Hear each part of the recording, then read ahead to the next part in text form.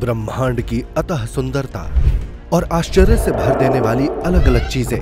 क्या ब्रह्मांड में मौजूद ये सब कुछ सिर्फ़ एक क्षणिक घटना से बनी है? या ये किसी के द्वारा बनाए गए सोचे समझे डिज़ाइन का परिणाम है? सदियों से धर्म और विज्ञान के बीच में ये जद्दोजहद चल रही है। मगर अब विज्ञान प्रभावी रूप से हमारे क्रिएटर की तलाश कर रहा है। कुछ फिजिसिस्ट का मानना है कि वो गणित में छुपा हो सकता है। न्यूरोलॉजिस्ट लोगों को लगता है कि वो क्रिएटर हमारे दिमाग में हो सकते हैं और कंप्यूटर कोडर्स को लगता है कि वो क्रिएटर उनमें से ही कोई एक है और हमारी दुनिया और कुछ नहीं, बल्कि उसका बनाया एक बेहतरीन प्रोजेक्ट है।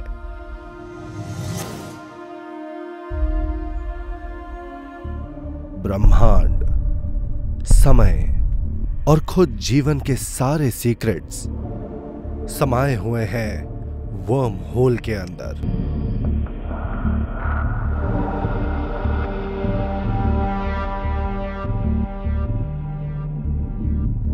हर कल्चर एक भगवान की कल्पना पेश करता है। उसे एक ऐसी शक्ति के रूप में दिखाया जाता है जिसने हमारी दुनिया और हमें बनाया है। लेकिन हम सब कॉस्मिक क्रिएटर के होने की बात का भरोसा क्यों कर रहे हैं? क्या हमने इसकी कल्पना की है ताकि हम अपनी संस्कृति और विचारों की रक्षा कर सके? क्या भगवान सच में है? वहाँ ऊपर, हम भगवान के वैज्ञानिक तलाश की यात्रा पर जाने वाले हैं। और मैं वादा करता हूँ, इसमें बहुत मज़ा आएगा। इसमें कई ऐसी बातों को जानेंगे जो हमारे विचारों को झंझोड़ कर रख देगी। सत्तर के दशक में मैंने अपनी बेटी के लिए एक एंट फार्म खरीदा था, लेकिन थोड़े दिन खेलने के बाद वो उससे बोर हो गई। मगर मैं नहीं हुआ। मैं कांच के इस घर में मौजूद चीटियों की इस छोटी सी दुनिया को देखकर आश्चर्यचकित था और मैं सोच रहा था कि उन्हें मेरे बारे में क्या मालूम होगा। जिसने उनकी दुनिया बनाई थी फिर मेरे मन में जिज्ञासा जागी कि क्या हम कभी अपने निर्माता के बारे में जान सकेंगे? क्या हम जान सकेंगे कि उसने इस दुनिया को और हम जीवों को आखिर क्यों बनाया? अरसे से वैज्ञानिक इसका जवाब ढूंढ रहे हैं कि इस ब्रह्मांड में हमारी जगह क्या है। और कुछ लोगों ने दावा भी किया है कि उन्होंने हमारे निर्माता यानी भगवान की झलक देखी है। 400 साल पहले इटली के गैलीलियो ने एक इंटरेस्टिंग तथ्य बताया था। उन्होंने कहा, ये विशाल दृश्य, जिसे हम प्रकृति कहते हैं, उसकी भाषा दरअसल गणित की भाषा है।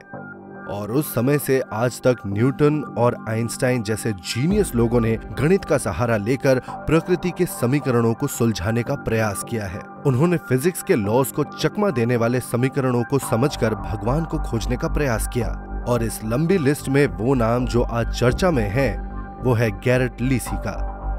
ब्रह्मांड को गणित के समीकरणों की मदद से काफ़ी अच्छे से समझाया जा सकता है। लेकिन उसके लिए आपको ये कल्पना करनी पड़ेगी कि कुछ निश्चित परिस्थितियों में प्रकृति कैसे काम करती है, उस कल्पना के आधार पर आगे बढ़कर आप कुछ कारणों, तर्कों, गणित की मदद से उसे सिद्ध कर सकते हैं या ये बता सकते हैं कि वो घटना कैसे हो रही है। अपनी पीएचडी के बाद, गैरेट ने दुनिया के रास्तों से हटकर अपने एडवेंचर के रास्ते को चुना, जिसमें वो हवाई द्वीप पर रहकर अपने जवाब खोज रहे हैं। अकेडमिक रास्तों के पीछे भागने से अच्छा मैंने यहाँ हवाई में प्रकृति के बीच रहकर अपनी रिसर्च को आगे बढ़ाने का फैसला किया है। मैं यहाँ फिजिक्स रिसर्च करता हूँ और जब उससे थक जाता हूँ तो सर्फिंग करने चला जाता हूँ। हम प्रकृति को समझने के प्रयासों के सिरे आपस में जोड़ नहीं पाए हैं। रिसर्चर्स का एक तबका परमाणुओं और दूसरा तारों की जानकारियाँ जुटाने में व्यस्त रहा। और इन दोनों तबकों के परिणामों को आपस में किसी तरह से नहीं जोड़ा जा सका। लीसी जैसे भौतिक शास्त्रियों का मानना है कि वक्त के साथ हम एक ऐसा समीकरण और थ्योरी तैयार कर लेंगे, जिससे ब्रह्मांड का हर रहस्य सुलझाया जा सकेगा और इसे कहा जाएगा थ्योरी ऑफ़ एवरीथिंग और अगर वो सही हुए तो हम ये कह पाएँगे कि भगवान दरअसल एक बहुत ही महान गणितज्ञ है। गैरेट फिजिक्स से दुनिया के समीकरण को सुलझाने में जुटे हैं। लेकिन इससे पहले कि हम फिजिक्स की इस दुनिया में उतरे और दिमाग चकरा देने वाले गणितीय समीकरणों को समझे हमें इसके बेसिक्स को समझना चाहिए क्योंकि यहाँ हमारे क्रिएटर के मिलने की बड़ी संभावना है। गैरेट के अलावा दुनिया के एक और बेहतरीन कॉस्मोलॉजिस्ट हैं। हेलो कैसे हो जो अपने चॉकलेट प्रेम के लिए भी जाने जाते हैं। मैं एक चॉकलेट सूफले और लाते कॉफ़ी लूँगा। जैसे कि परफेक्ट चॉकलेट सूफले बनाने के लिए निश्चित चीज़ों को एक निश्चित तापमान पर निश्चित समय के लिए गर्म करना पड़ता है। इसी तरह हमारा ब्रह्मांड भी जैसा हमें दिखता है, वैसा चार मूलभूत फोर्सेस के बीच में एक बैलेंस होने की वजह से है। वो चार फोर्सेस जो हमारे ब्रह्मांड को समेटे हुए हैं, वो ग्रेविटी इलेक्ट्रोमैग्नेटिज्म वीक और स्ट्रॉन्ग फोर्स ये आखिर के दो काफ़ी खास हैं और दुनिया को सही से चलाने के लिए काफ़ी ज़्यादा महत्वपूर्ण भी हैं। हम सब ग्रेविटी से ही मुखातिब होते हैं। उसकी वजह से हम चल पाते हैं, गिर जाते हैं, हम कुछ उठा पाते हैं और वो उठाई गई चीज़ गिरती भी ग्रेविटी की ही वजह से है। इलेक्ट्रोमैग्नेटिज्म की हेल्प से हम चीज़ों के पीछे की केमिस्ट्री को समझ सकते हैं। जब हम कुछ पकाते हैं और उसकी ऊर्जा को इस्तेमाल करते हैं तो वो कहीं ना कहीं इलेक्ट्रोमैग्नेटिक ऊर्जा ही होती है। वीक फोर्सेस इलेक्ट्रोमैग्नेटिज्म की तुलना में लाखों टन कमज़ोर होते हैं, मगर ये रेडियो एक्टिव के लिए जिम्मेदार होता है। हम जो केला खाते हैं, उसमें पोटेशियम होता है, वो रेडियो एक्टिव है और अगर उसकी मात्रा ज़्यादा हो जाए तो वो हमारे लिए जानलेवा भी हो सकता है। सूरज दरअसल एक न्यूक्लियर रिएक्टर की तरह है। स्ट्रॉन्ग फोर्सेस की वजह से न्यूक्लियर रिएक्शन में एनर्जी रिलीज़ होती है और वही ब्रह्मांड में काम आती है। और जब आप इन सारी चीज़ों को मिला देते हैं तो वो दुनिया के अस्तित्व को बनाए रखने में एक बैलेंस्ड समीकरण की तरह काम करती है। और अगर उनमें से किसी को भी ज़्यादा या कम किया जाए तो काफ़ी कुछ गलत हो सकता है। शायद दुनिया खत्म हो सकती है, सूरज खत्म हो सकता है, डीएनए की संरचना बदल सकती है। कई लोग इस बात को गोल्डी लॉक्स पैरेडियम भी कहते हैं, जिसमें सब कुछ बैलेंस होना चाहिए बिल्कुल इस सूफले की तरह। ओ, ये परफेक्ट है। कुछ फिजिसिस्ट सोचते हैं कि इन चारों फोर्सेस का इतना निश्चित कॉम्बिनेशन भगवान के होने का सबूत है, और उनमें से एक है डॉक्टर जॉन पोपिंगहॉर्न जो इस तरह की पहली रिसर्च कर रहे हैं। डॉक्टर जॉन सब एटॉमिक कणों पर की गई अपनी रिसर्च के लिए फ़ेमस रहे हैं। उन्हें ब्रिटेन में सर की उपाधि मिली है। लेकिन आप ये जानकर चौंक जाएँगे कि वो अब एक चर्च में नई तरह की ज़िंदगी जी रहे हैं। एक प्रीस्ट की तरह। मैं सचमुच भगवान में विश्वास करता हूँ। वो मेरी परवरिश का हिस्सा रहे हैं। आज हम जिन चार मूलभूत फोर्सेस की बात करते हैं वो दरअसल एक दुनिया के अस्तित्व के बारे में जानकारी देने वाला एक नक्शा है।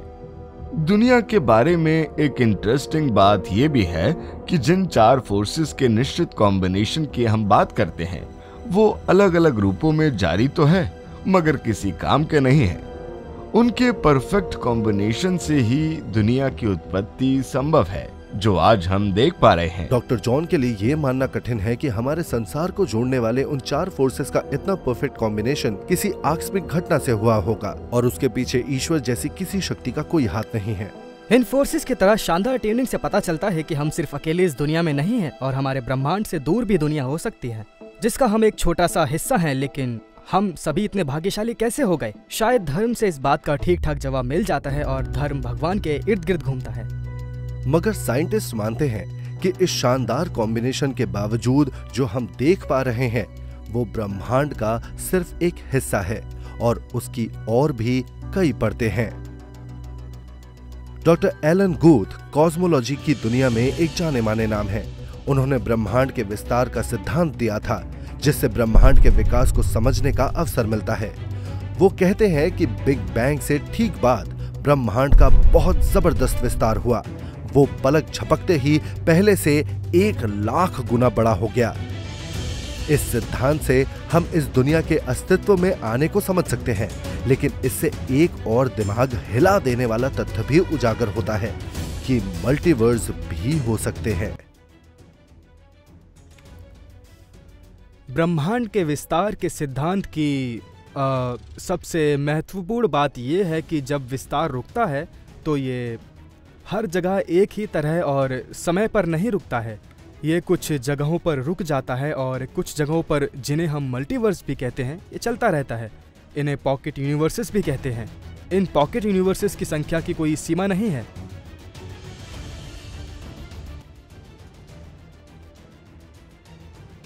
मैं यहाँ ये पॉइंट समझाने की कोशिश कर रहा हूँ कि मल्टीवर्स के बीच में शायद हम इनमें से किसी एक पॉकेट यूनिवर्स के बीच में रह रहे हैं। हो सकता है कि इनमें से हर पॉकेट यूनिवर्स में फिजिक्स के दूसरे नियम भी लगते हैं। हमारे ब्रह्मांड में चार शक्तियाँ तालमेल में हैं, जिसकी वजह से जीवन बनता है, समृद्ध होता है और उसका अंत होता है। लेकिन डॉक्टर गूथ के पॉकेट यूनिवर्सेस में ऐसी कई शक्तियाँ हो सकती हैं। वहाँ नियम अलग अलग हो सकते हैं और इनका जोड़ तोड़ अलग हो सकता है। हो सकता है कहीं इलेक्ट्रोमैग्नेटिज्म वीक हो कहीं पर ग्रेविटी ज़्यादा हो और इसका हर यूनिवर्स में अलग ही परिणाम देखने को मिल सकता है। शायद वहाँ मानव जीवन की कल्पना भी ना की जा सके। डॉक्टर एलन गूथ कहते हैं कि हमारे यूनिवर्स की इस अरेंजमेंट में किसी ऊपरी शक्ति का हाथ नहीं है, बल्कि सौभाग्य से हमें ये अरेंजमेंट मिल गई है। ब्रह्मांड और उसकी उत्पत्ति के पीछे के कारण वैज्ञानिक गलियारों में दशकों से बहस का एक मुद्दा रहे हैं और इन्हीं विवादों को दूर करने का काम कैरेट लीसी जैसे वैज्ञानिक कर रहे हैं। एक ऐसी थ्योरी जिसके गणितीय समीकरणों से हम ब्रह्मांड को समझने की अपनी इस यात्रा में सच के बेहद करीब पहुँच सकते हैं, पर अभी ये सब कुछ गैरेट लीसी के सिर्फ़ दिमाग में है।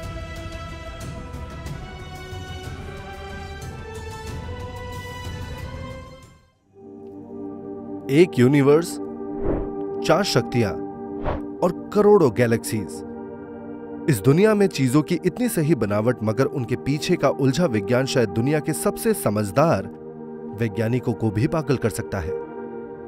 यह सब इस तरह कैसे फिट हुआ? क्या यह सब एक सिंगल डिज़ाइन का हिस्सा है जिसे हम ब्रह्मांड कहते हैं? अगर हमने इसका पता लगा लिया तो क्या हम ईश्वर को जान लेंगे? वैज्ञानिकों ने दशकों से करोड़ों डॉलर्स खर्च करने के बाद एक परमाणु तोड़क मशीन बनाई है, जिससे उन चार शक्तियों के काम को समझा जा सकेगा। उन्होंने ये खोज की कि माइक्रोस्कोपिक लेवल पर मौजूद कणों के द्वारा बनते रही ऊर्जा से बड़ी बड़ी चीज़ों में मूवमेंट होती है। इलेक्ट्रोमैग्नेटिज्म की शक्ति में फोटॉन्स महत्वपूर्ण होते हैं। और स्ट्रॉन्ग फोर्स में महत्वपूर्ण होते हैं ग्लूऑन्स डब्ल्यू और जी बोजॉन्स के द्वारा वीक फोर्स उत्पन्न होती है। मगर उन्हें कभी ग्रेविटी को कैरी करने वाली फोर्स नहीं मिली, लेकिन उन्होंने इसके लिए एक टर्म दिया ग्रेविटॉन्स और इसी वजह से ब्रह्मांड के रहस्य गणित के समीकरणों में फंसे रह गए। लेकिन जब गैरेट लीसी जैसे वैज्ञानिकों ने उसे सुलझाने का बीड़ा उठाया तो उनके सफल होने की कुछ उम्मीदें बनती नज़र आ रही हैं। सत्तर के दशक में जब लोगों को स्ट्रॉन्ग और वीक फोर्सेस के बारे में पता चला तो उन्होंने बेहद जल्दी ही एक यूनिफाइड थ्योरी तैयार कर ली। उन्होंने पहले से मालूम दूसरी शक्तियों को भी उसमें जोड़ना चाहा।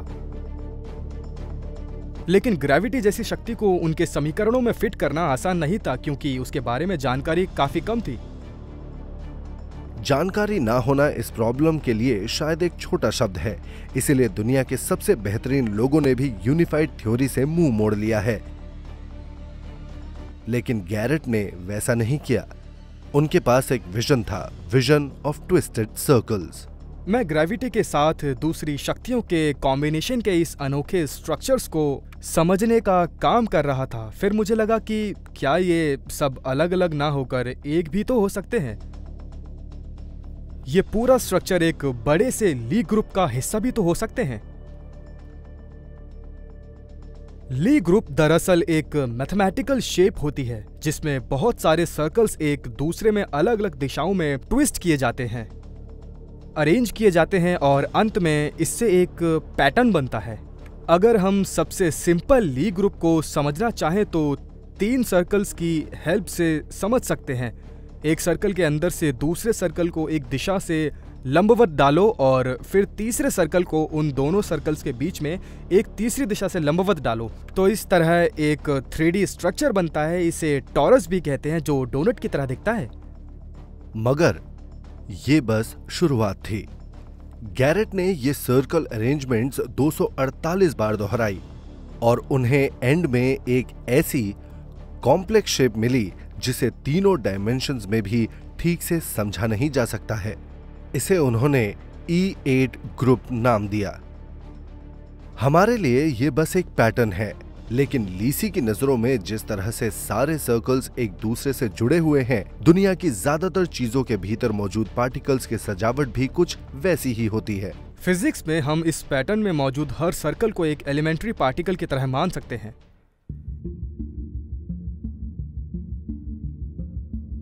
सानिध्य में हो सकता है। इसमें फोटोन्स ग्लून्स और दूसरे वीक फोर्स पार्टिकल्स भी शामिल हैं। गैरेट ने महीनों तक इस पैटर्न को खुरेदा। वो लगातार फिजिक्स और गणित के समीकरणों को आपस में जोड़ रहे थे और फिर एक दिन उन्होंने एक पैटर्न समझ लिया कि स्ट्रक्चर में कुछ कण ऐसे भी होते हैं जो ग्रेविटॉन को कभी देख ही नहीं पाए और उनकी ये खोज फिजिक्स में एक क्रांति जैसी थी। जिससे ये समझा जा सकता था कि प्राकृतिक समीकरणों में ग्रेविटी आखिर कैसे फिट होती है। ये देखना कि ग्रेविटी ली ग्रुप की दूसरी शक्तियों के साथ कैसे कंबाइन हो रही है मेरी ज़िंदगी के सबसे खास और रोमांच पलों में से एक था।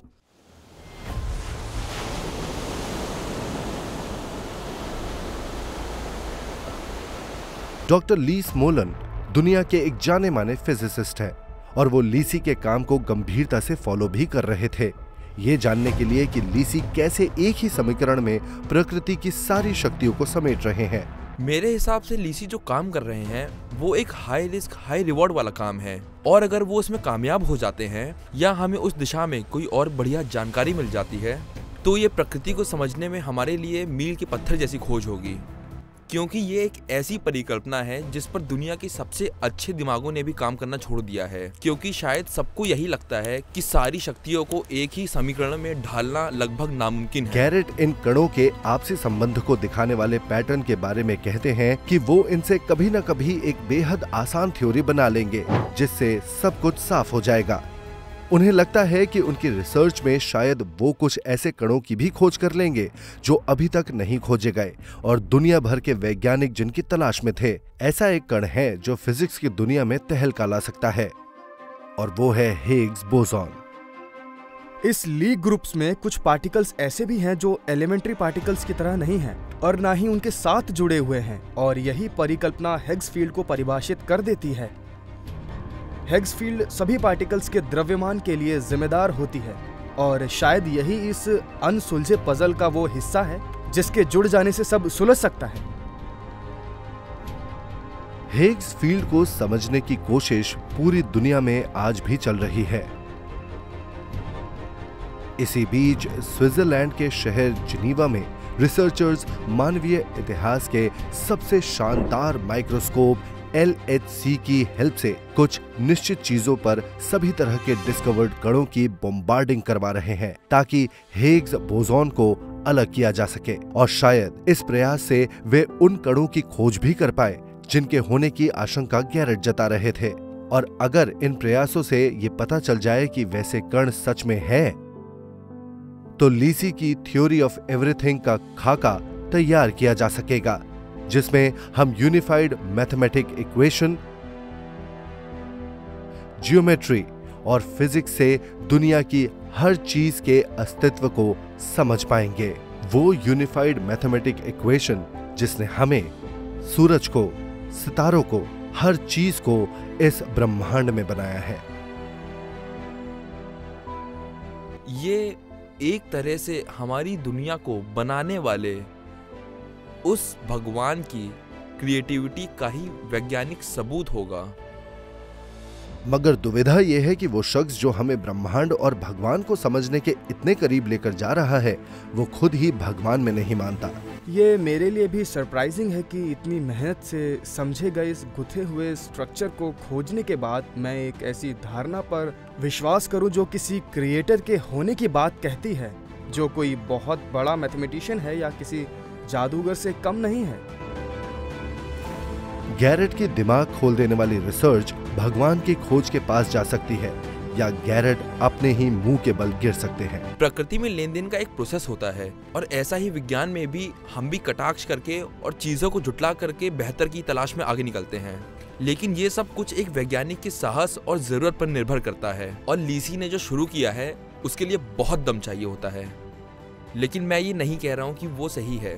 मगर मुझे लगता है कि वैज्ञानिक समाज को आगे बढ़ाने के लिए साहस के साथ ऐसे ही आइडियाज़ की ज़रूरत होती है। गैरेट के पास ये मौका है कि वो ब्रह्मांड के क्रिएशन से जुड़े हर तथ्य को एक इक्वेशन में ढाल पाए, जैसा करने में न्यूटन और आइंस्टाइन जैसे वैज्ञानिक भी फेल हो गए। मगर क्या होगा अगर लीसी गलत हो गए तो? और अगर कोई ऐसा समीकरण हुआ ही नहीं जो पूरे ब्रह्मांड को अपने अंदर समेट सके? ये सवाल शायद इस शख्स को परेशान नहीं करेगा, क्योंकि ये मानते हैं कि हम सबको बनाने वाला बाहर ब्रह्मांड में नहीं, बल्कि यही हमारे भीतर है। और एक दिन वो एक स्विच की हेल्प से उसे ढूंढ निकालेंगे।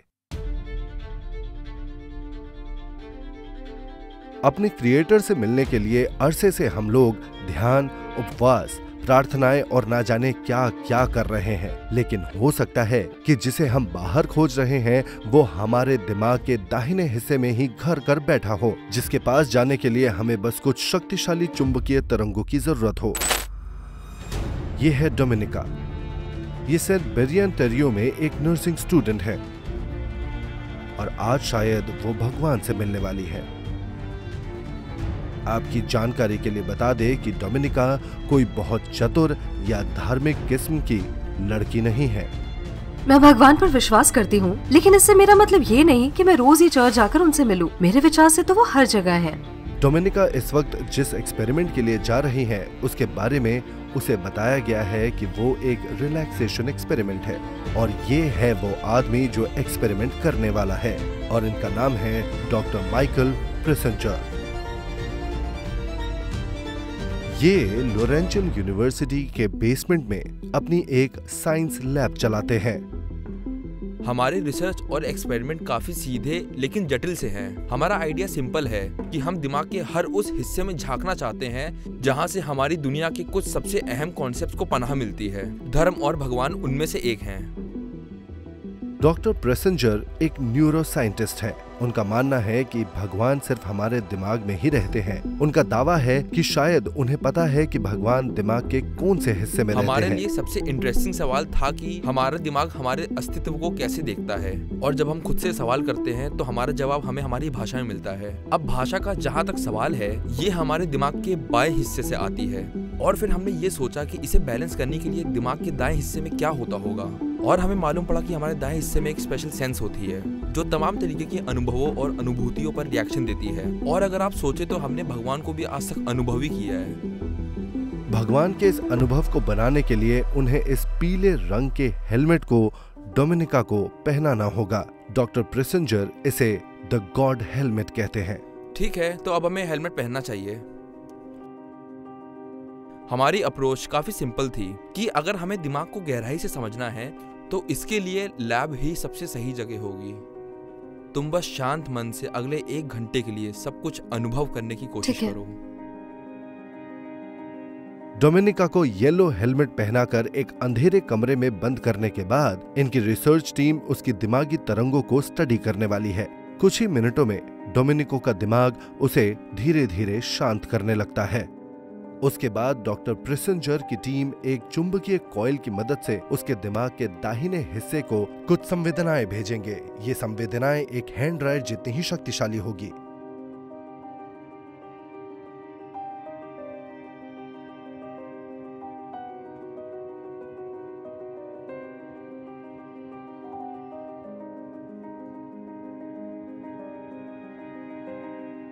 हम इस परिकल्पना पर शोध कर रहे हैं कि जैसा आपने सुना ही होगा कि कुछ लोग अपने मरने की भविष्यवाणियाँ कर देते हैं, जो काफ़ी एंशियस कर देने वाली बात है। ठीक वैसे ही हम इसकी विपरीत धारा में चलने का प्रयास कर रहे हैं। हम उस एंजाइटी का अंत तलाश कर रहे हैं, क्योंकि जब तक अंत नहीं मिल जाता, वो परेशानियाँ खत्म नहीं की जा सकती। और जब तक परेशानियाँ हमारे मन में रहेंगी, उसके विपरीत विश्वास के रूप में धर्म और भगवान भी रहेंगे।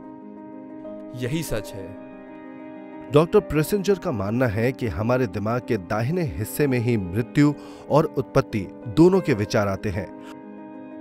और यही हम भगवान के प्रति अपनी आस्था भरे विचारों को रखते हैं। लेकिन उन्होंने अपने गॉड हेलमेट को कुछ इस तरह बनाया है जिससे आस्था के ये भाव या भगवान के करीब होने का अनुभव मानव द्वारा ही बनाया जा सके। हाँ। ठीक है अपनी बॉडी को रिलैक्स कर दो। लगभग एक घंटे तक डोमिनिका को अंधेरे कमरे में बंद करके ये एक्सपेरिमेंट पूरा करने के बाद अब बारी है उसके अनुभवों को जानने की। या शायद भगवान को जानने की। क्या तुम्हें अपने आसपास किसी की मौजूदगी का एहसास हुआ? हाँ मुझे मेरे अगल बगल में कुछ लोगों के खड़े होने का एहसास हुआ। ठीक है क्या तुम उसके बारे में विस्तार से बता सकती हो? नहीं वो बिना चेहरों वाली परछाइयों की तरह थे और उन्होंने ठीक है। मुझसे कुछ नहीं कहा बस शांति से खड़े रहे। अच्छा वो कितने लोग थे? अम, वो उन लोगों को गिन रही थी। शायद वो सब कुछ दिमाग में रिक्रिएट करने की कोशिश कर रही थी। डॉक्टर प्रेसेंजर के इस एक्सपेरिमेंट में शामिल होने वाले 80 प्रतिशत से भी ज़्यादा लोगों ने डोमिनिका की ही तरह भले ही वो धर्म में मानते हो या नहीं हो गॉड हेलमेट लगाने के बाद ऐसा ही एहसास किया। जब हमने उसके शरीर के दाहिने हिस्से को उत्तेजित करवाया तब वो अपने आसपास तरह तरह की चीज़ों को अनुभव करने लगी। उसने हमें बताया कि उसने पाँच बेशक्ल परछाइयों को महसूस किया। मैं कुछ देख नहीं पाई लेकिन मुझे महसूस हुआ कि मैं ज़मीन से कुछ फीट ऊपर ओके। थी। और अकेली नहीं थी। अच्छा अच्छा ऊपर की ओर। उसने अपना अनुभव बताते हुए साफ़ किया कि वो सिर्फ़ ऊपर के हिस्सों को देख पाई और इससे हम उसके राइट टेंपल लोब के उत्तेजित होने की पुष्टि कर सकते हैं। क्या तुम ये साफ़ साफ़ बता सकती हो कि तुमने जो भी महसूस किया वो तुम्हारे मन का बनाया हुआ वहम तो नहीं है? मैंने खुद को यहाँ नहीं बल्कि एक सड़क पर लेटा हुआ महसूस किया। मेरा सर मेरे शरीर से जुड़ा हुआ नहीं था। मैं उसे अलग देख सकती थी। मैं देख पा रही थी कि उसमें से एक ऊष्मा निकल रही है। काफ़ी गर्म महसूस किया? अच्छा तो तुमने महसूस किया कि तुम्हारा सर तुम्हारे शरीर से जुड़ा हुआ नहीं है? हाँ और तुमने बताया था कि तुमने काफ़ी अजीब परछाइयाँ देखी। जी भला हवा में कौन नहीं उड़ना चाहेगा? लेकिन मुझे आग के बीच नहीं जाना। ठीक है। तुम्हें कौन सा अनुभव अच्छा लगा पहला या दूसरा? पहला। अच्छा पहले वाला? ठीक है। अच्छा ठीक है।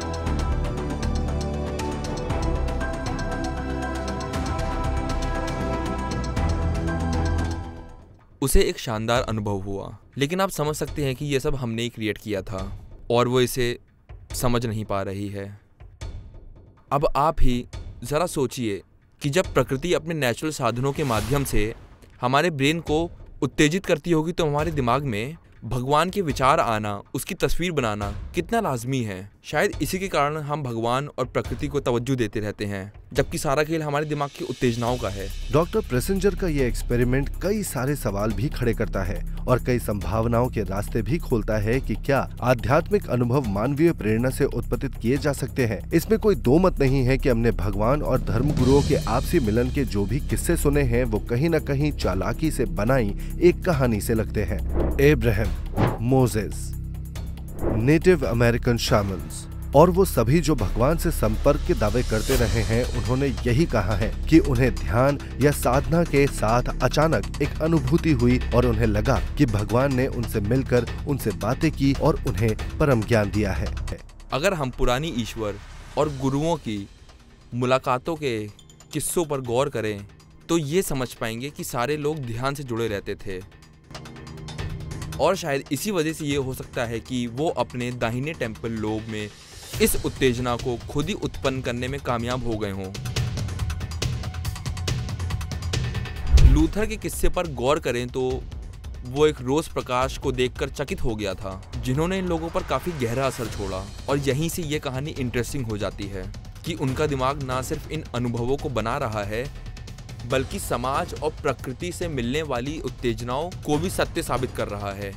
जब समाज हमारी विचारधारा पर असर छोड़ता है, जो परिवर्तन हमारे दिमाग में होता है, इसके अलावा और भी ऐसे कई तत्व होंगे जिससे हमारा दिमाग और भी उत्तेजित होता होगा। लेकिन हम अभी तक उन्हें ठीक से नहीं जान पाए हैं और ये सब मिलकर ही हमें ईश्वर की होने की अनुभूति करवाते हैं। सदियों से करोड़ों लोगों ने अपने जीवन को इस विश्वास पर जिया है कि ऊपर कोई ईश्वर बैठा है जो उन्हें देख रहा है, उनकी परवाह कर रहा है। ईश्वर वो है जिसने बनाया है और संभाल भी रहा है। डॉक्टर प्रेसेंजर का गोल्ड हेलमेट हमें यह बतलाता है कि हम शायद भगवान के होने के विश्वास को कई सारी भावनाओं के जुड़ जाने के कारण अनुभव करते हैं। शायद भगवान ना हम में हो और ना ही वो हमें संभाल रहा हो। शायद भगवान सिर्फ़ हमारा भ्रम हो। क्या हम उसे अपने दिमाग के किसी कोने में ढूंढ पाएँगे? या कोई थ्योरी उनके होने या ना होने के राज को खोल पाएगी? आइए थोड़ा और करीब से एक और विचित्र संभावना को समझने की कोशिश करते हैं। यहाँ से शुरू करते हैं। विल राइट एक क्रिएटर है। कम से कम एक यूनिवर्स के तो। Blockbuster video game the Sims में इस सॉफ्टवेयर जीनियस ने डिजिटल लोगों की एक अलग ही दुनिया बनाई, जो अलग होकर भी हमारी दुनिया से काफ़ी मिलती जुलती थी। द सिम को बनाते वक्त हम उसके किरदारों में ज़्यादा से ज़्यादा मानवीय हाव भाव रखना चाहते थे, जिसके लिए हमें कंप्यूटर को ये समझाना था कि हम इंसान दरअसल सोचते कैसा है, असल दुनिया में। मेरे विचार से हम इंसानों में सबसे बड़ा गुण ये है कि हम अपने किरदारों को वक्त, जगह और लोगों के हिसाब से बदल लेते हैं और हम ये कोशिश करते हैं कि हम अपने सामने वाले पर्सन को अनुभवों के साथ खुद को जोड़ लें। इसे एम्पैथी कहते हैं। मगर जरा सोचिए कि आप कितनी एम्पैथी इस व्यक्ति के लिए महसूस करेंगे और कितनी इस आदमी के लिए। कंप्यूटर की शक्तियों में पिछले कुछ दशकों में जितना विकास हुआ, वो अद्भुत है। और कंप्यूटर ग्राफिक्स में जो रियलिज्म आया है, वो बिल्कुल हमारी असल दुनिया के साथ साथ चल रहा है। मगर जब कंप्यूटर के किरदार हमारे दोस्तों की तरह, हमारी तरह दिखने लगे और हमारे जीवन की असली और नकली स्थितियों के बीच की लाइन मिटने लगे तो ये एक चुनौती है। कंप्यूटर ग्राफिक्स अब इंक्रीज रियलिटी के सफ़र पर चला गया है। आप इन्हें कंप्यूटर ग्राफिक्स और मूवीज़ में साफ़ साफ़ देख सकते हैं। जब हम इन्हें गौर से देखते हैं, तब समझ पाते हैं कि कितने सूक्ष्म स्तर पर परिवर्तन होता जा रहा है। और यही सूक्ष्म परिवर्तन एक दिन हमारे असली और वर्चुअल जीवन के बीच की रेखा को समाप्त कर देगा। कैलिफ़ोर्निया के पेसेडीनिया लैब के एक कंप्यूटर साइंटिस्ट का मत है कि शायद भगवान एक बहुत बढ़िया कंप्यूटर जीनियस है और वो अपने इस विश्वास को साबित करने के लिए सबूत जुटा रहे हैं। रीच रेल नासा के साथ मार्स मिशन पर थे और उन्होंने नेपट्यून सैटर्न जैसे ग्रहों के आसपास कुछ उपग्रहों को खोजा है। उन्होंने सोलर सिस्टम की भी कुछ बढ़िया तस्वीरें लेने में वैज्ञानिकों की हेल्प की है। उनके लॉजिकल माइंड और टेक्नोलॉजी प्रेम का जवाब नहीं है और अब वो अपने लॉजिक से एक बड़ा सवाल सुलझा रहे हैं। हमारा क्रिएटर आखिर है कौन? जब हम ईश्वर और उनके बनाए ब्रह्मांड की कल्पना करते हैं और उसके अस्तित्व के बारे में सोचते हैं तो सबसे पहला सवाल यही आता है कि भगवान कौन है और हमें उनकी ज़रूरत आखिर क्यों महसूस होती है? क्या वो सभी डायमेंशन के द्वारा संसार की हर चीज़ से जुड़े हुए हैं? क्या उन्होंने इस दुनिया को और हमें बनाया है? और क्या वो फिजिक्स के लॉज को बदल सकते हैं? शायद ये सभी बेहद डाइस से सवाल हैं। टरेल सोचते हैं कि उनके ये सारे सवाल भगवान और हमारी उत्पत्ति से ठीक वैसे ही जुड़े हैं, जैसे एक कंप्यूटर प्रोग्रामर अपने बनाए प्रोग्राम से। और जब वो इस बारे में सोचते हैं कि हमारी जैसी खूबसूरत और विशाल दुनिया बनाने में उन्हें कितना वक्त और मेहनत लगी होगी, वो ईश्वर को एक कंप्यूटर जीनियस कहते हैं।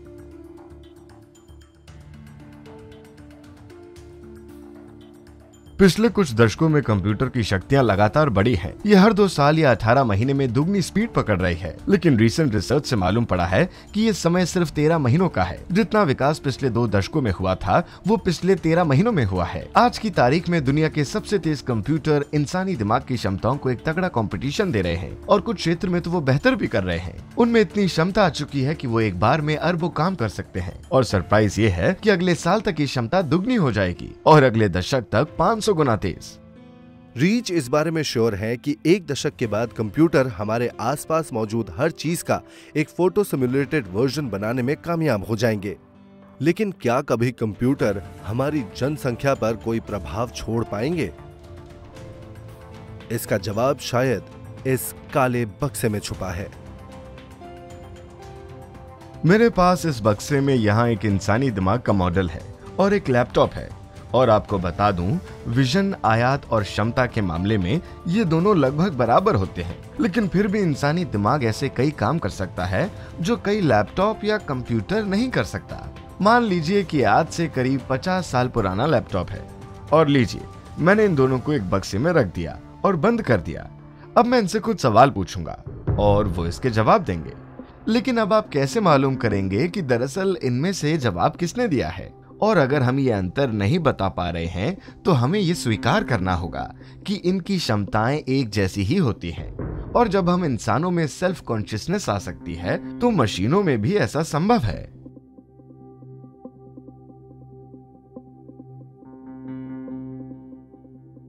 आने वाले कंप्यूटर्स में ये क्षमताएँ होंगे कि वो आज हमारे आसपास मौजूद चीज़ों के फ़ोटो सिमुलेटेड वर्जन्स को पृथ्वी के वातावरण में ढाल पाएँगे। मान लीजिए कि हमारे पास एक बेहद एडवांस आर्टिफिशियल इंटेलिजेंस स्टिमुलेशन है, जिसके द्वारा हम इस दुनिया का नव निर्माण कर सकेंगे। फिजिक्स के लॉस को बदल पाएँगे। शायद हम वो सारी चीज़ें कर पाएँगे जिसके लिए हम भगवान को खोजते फिरते हैं। अब हम कंप्यूटर के अंदर एक नई दुनिया बनाने का प्रयास कर रहे हैं, जिसके लिए हम उसके अंदर सिमुलेशन और कोड्स डाल रहे हैं। ऐसा करके हम वहाँ के भगवान तो बन जाएँगे, लेकिन रीच की खोज इस बारे में है ही नहीं। उल्टा उनका असली काम तो दिमाग हिला देने वाला है। उनका मानना है कि अगर विज्ञान भगवान के होने की आशंका को तूल दे सकता है तो शायद वो सच में हो। शायद हम सभी सिम्स गेम के किरदारों की तरह हों। और हमें बनाने वाला एक बड़े से सुपर कंप्यूटर में हम सबको देख रहा हो।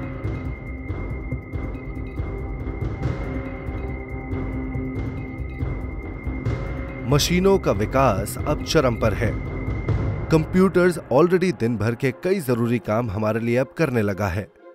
क्या अब उनका प्रभाव हमसे ज़्यादा है? और क्या हमारा क्रिएटर किसी तरह का कॉस्मिक कंप्यूटर जीनियस होगा? रीच टेरल का मानना है कि हम सभी शायद किसी बहुत बड़े कंप्यूटर सिमुलेशन का हिस्सा हैं और हमारा क्रिएटर हमें कंट्रोल करने के लिए किसी सुपर कंप्यूटर का इस्तेमाल कर रहा है, जिसे हम भगवान की शक्तियाँ समझ रहे हैं और उन्हें लगता है इसे सही साबित करने के लिए उन्होंने जवाब भी खोज लिया है। आप किसी भी कंप्यूटर सिमुलेशन को समझने के लिए उसे जूम कर सकते हैं और आप समझ जाएँगे कि कोई भी सिमुलेशन आखिर में जाकर पिक्सल्स में ही टूट जाती है। और ठीक ऐसा ही प्रकृति की दूसरी चीज़ों के साथ होता है, वे भी छोटे अणुओं में टूट जाती हैं। इससे पूर्व सदियों में वैज्ञानिकों ने मैटर के बनने के पीछे अणुओं और परमाणुओं की निश्चित संरचना होने की बात बताई थी। और क्वांटम मैकेनिक्स का ये रूल पूरे ब्रह्मांड में लागू होता है, संपूर्ण ब्रह्मांड पर।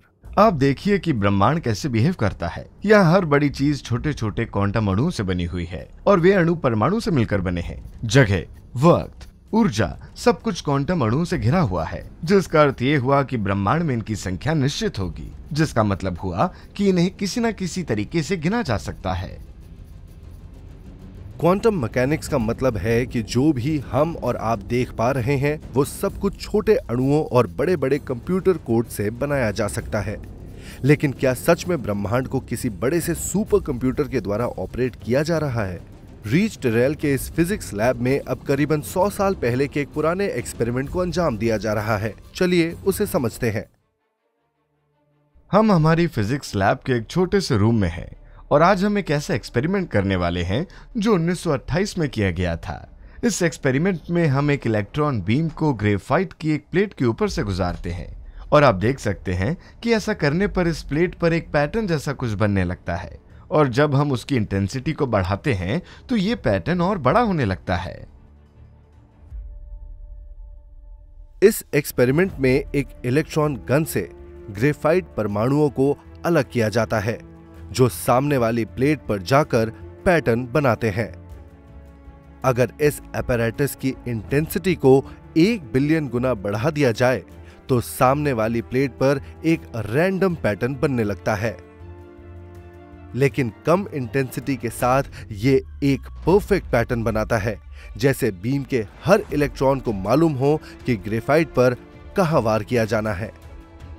टारगेट बड़ा होने के बावजूद हर इलेक्ट्रॉन सटीक तरीके से ग्रेफाइट की उसी जगह पर वार करता है जहाँ उसे करना चाहिए। ये एक बहुत ही अद्भुत चीज़ है। बीम के इलेक्ट्रॉन को किसी तरह से मालूम हो जाता है कि उसे कहाँ पर जाना है, और इसलिए वो इतना परफेक्ट पैटर्न बना पाते हैं। इस एक्सपेरिमेंट से समझ आता है कि हम मैटर को जैसा देखते हैं, वो उसकी पूरी अवस्था नहीं है। असल में मैटर डिफ्यूज कंडीशन में होता है। क्वांटम मैकेनिक्स के ये सारे रूल्स दुनिया की हर चीज़ पर लागू होते हैं। यानी जब हम उन्हें देखते हैं तो वो वहाँ हैं। लेकिन जब हम उन्हें नहीं देखते तो शायद वो अपना आकार बदल लेते हैं। इसे एक और नज़रिए से समझा जा सकता है। आप ऐसे सोच सकते हैं कि जैसे आप PS3 का कोई गेम खेल रहे हैं। या सिन सिटी में है जहाँ पर आप कहीं भी घूम सकते हैं। आप जहाँ देख रहे होते हैं, कंप्यूटर प्रोग्राम वही बना देता है और यूनिवर्स भी कुछ वैसा ही करता है। वो आपको वही दिखाता है जो आप देख रहे होते हैं। लेकिन जैसे ही आपकी नज़र हटती है, वो शायद वहाँ से गायब हो जाता है। हमारी दुनिया छोटी चीज़ों से मिलकर बनी है और इसके पैटर्न बिल्कुल वैसे ही है, जैसे किसी कंप्यूटर के सिमुलेशंस के होते हैं। रीच टेलर ने उन सारी संभावनाओं पर काम किया है, जिसमें हम सब एक बड़ी सी सिमुलेशन का हिस्सा है, जो शायद उस धारणा को कम कर देगा कि कोई भगवान है।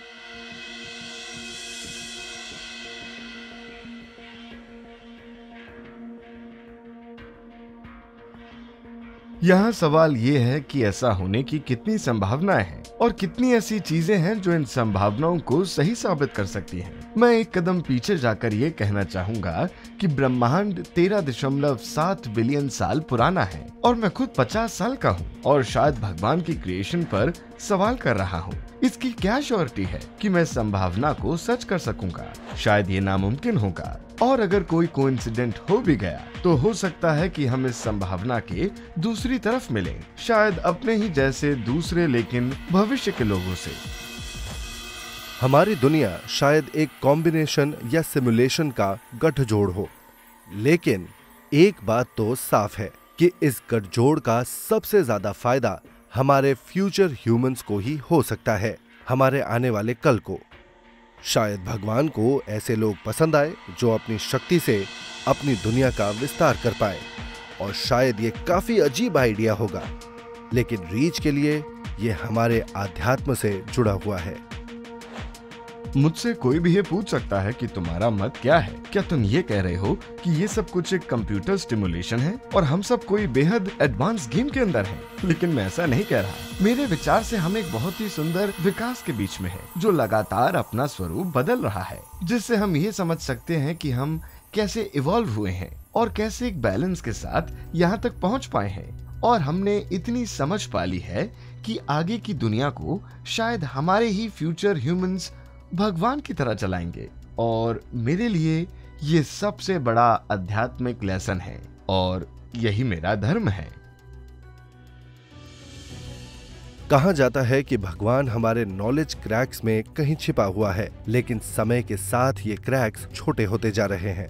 हम ऐसा फिजिक्स में भी देख सकते हैं कि कोई भी समस्या शुरुआत में काफ़ी जटिल होती है लेकिन जब हम उसे टुकड़ों में देखना शुरू करते हैं तो वो सरल बनने लगती है और अगर आप एक क्रिएटर की परिकल्पना करते हैं तो ये भी मान बैठते हैं कि शायद उसने और भी काफ़ी जटिल चीज़ें बनाई होंगी।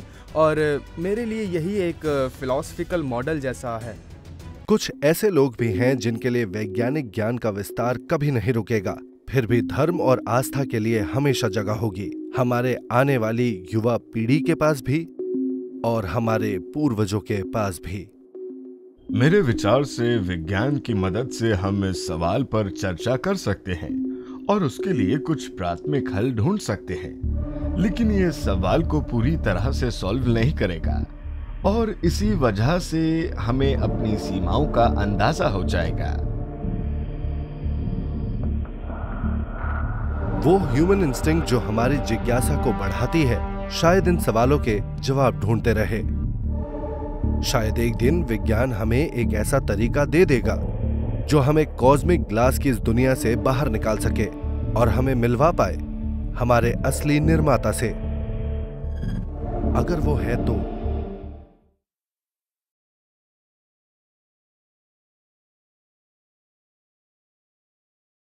क्या आप उन लोगों में से हैं जो ब्रह्मांड के रहस्यों की इन्वेस्टिगेशन करना पसंद करते हैं?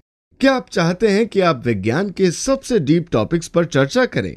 तो हमारा through the wormhole season one course आपके लिए पूर्णतः उपयुक्त है।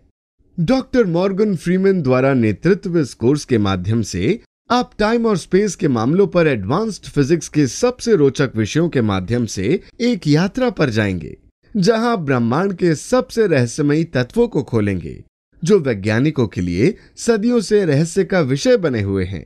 रोचक लेक्चर्स और एक्टिविटीज़ के माध्यम से आप भौतिकी में नवीनतम सिद्धांतों के बारे में सीखेंगे, जिसमें आप जानेंगे इज़ देयर अ क्रिएटर शुरुआत से पहले क्या था? हम यहाँ कैसे आए? जैसे अनेक टॉपिक्स जैसे मुद्दे शामिल होंगे। तो आज ही science documents dot graphy dot com पर जाकर हमारे इस course through the wormhole season one को खरीदें और पाएँ इस कोर्स की लाइफ टाइम एक्सेस